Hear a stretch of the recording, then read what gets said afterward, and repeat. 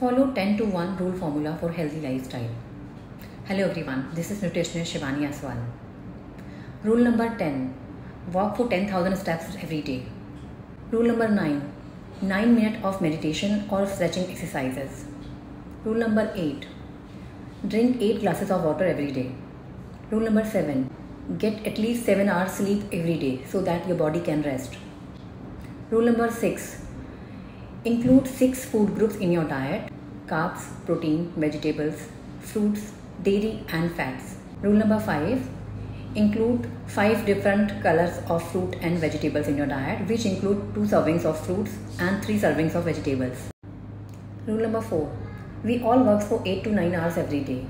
Take a rest break in every 2 hours.